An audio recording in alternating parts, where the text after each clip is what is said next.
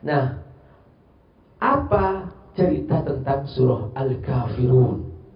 Mengapa Allah turunkan surah Al-Kafirun? Bapak Ibu rahimakumullah.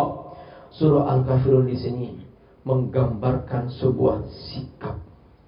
Sikap seorang mukmin bahwa seorang mukmin harus jelas. Jangan menampak-nampakkan diri seperti orang kafir. Bahwa ketika dia mengaku diri sebagai seorang muslim, tunjukkan bahwa dia seorang muslim. Maaf, aku tidak bisa minum khamr. Kenapa? Karena Allah mengharamkannya. Maaf, aku tidak mau berzina. Kenapa? Karena Allah mengharamkannya. Maaf, aku tidak mau korupsi. Kenapa? Ini haram dalam ajaran Allah Subhanahu wa taala. Maaf, aku tidak mau berbohong karena Allah mengharamkannya. Semua ini adalah sikap seorang muslim bahwa dia benar-benar punya panduan dari Allah Subhanahu wa taala. Kalau orang kafir, dia memang tidak punya aturan. Dia hidup menurut dia, dia bikin aturan sendiri dan dia tidak ada hubungan sama sekali dengan Allah. Seperti HP, dia sudah disconnect. Kalau disconnect, dia bikin aturan sendiri. Dia bikin operator sendiri. Operatornya siapa? Setan.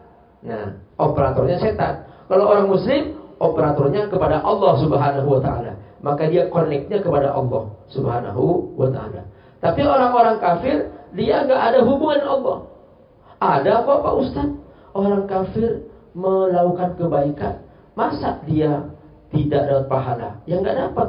Karena apa? Diskonik dari Allah. Mungkin dapat pujian di kalangan manusia, si fulan baik, si fulan bagus, udah dapat itu aja. Mungkin dapat hadiah-hadiah, mungkin dapat hadiah Nobel, penghargaan. Nah itu urusan dunia dan itu urusan dunia, nggak ada hubungannya dengan Allah Subhanahu Wa Taala. Tapi orang Muslim berbeda, dia hanya ingin penghargaan dari Allah Subhanahu Wa Taala. Dia hanya ingin balasan dari Allah Subhanahu wa taala. Inilah namanya ikhlas. Jadi ikhlas itu murni. Seperti air ini, Bapak Ibu, nih air.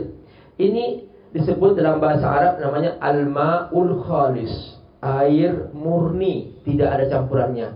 Kalau dimasukin teh, terus Bapak Ibu minum, Bapak Ibu minum apa?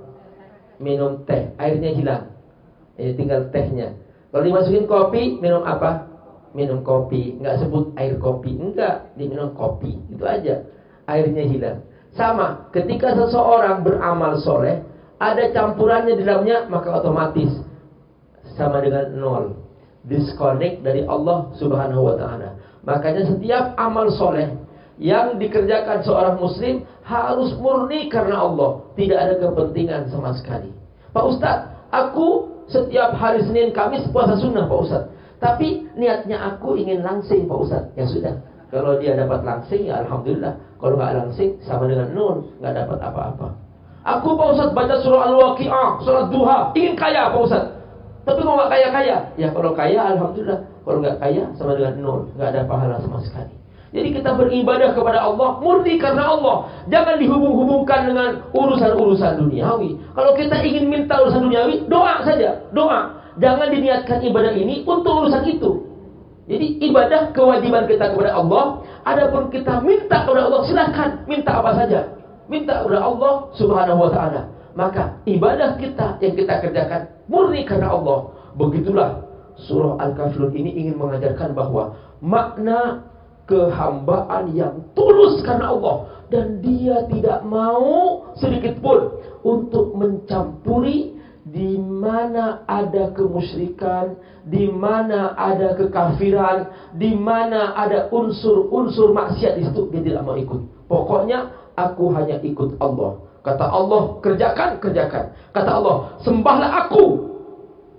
Wa ma khalaqtul jinna illa wa ma khalaqtul jinna wal insa illa liya'budun. Aku tidak menciptakan jin dan manusia kecuali untuk beribadah kepada Allah. Maka begitu dia memahami ayat ini dengan baik langsung dia menyatakan iya karena butuh wa karena nasta'in hanya kepadamu ya Allah aku beribadah dan hanya kepadamu ya Allah aku minta tolong Bapak Ibu rahimakumullah. Begitulah seorang yang beriman kepada Allah Subhanahu wa taala. Dia benar-benar bersungguh-sungguh mentaati Allah dan tidak sedikit pun mencampur adukkan dalam ketaatannya kepada Allah. Dia ikhlas karena Allah. Qul huwallahu ahad. Saksikan bahwa Allah satu, Allahu Samad. Dia hanya berharap kepada Allah Subhanahu wa taala. Lam yalid wa lam yulad. Allah bukan seperti makhluk dilahirkan, bukan. Wa lam yakul lahu kufuwan ahad. Tidak ada satupun makhluk yang menyerupai Allah Subhanahu wa taala. Allah Tuhan. Allah Tuhan satu-satunya. Tidak ada makhluk yang pantas dituhankan. Aku hanya bergantung kepadamu ya Allah. Iyyaka na'budu wa iyyaka nasta'in. Inilah yang ingin ditekankan dalam surah Al-Kafirun. Bapak Ibu Allah, saking pentingnya surah Al-Kafirun ini oleh Allah Subhanahu wa taala secara urutan diletakkan sebelum surah An-Nasr. Jadi setelah Al-Kafirun surah apa? An-Nasr. An-Nasr itu berbunyi apa? Idza jaa nasrullahi wal fath. Ketika datang pertolongan Allah. Pertolongan Allah maksudnya apa? Kemenangan.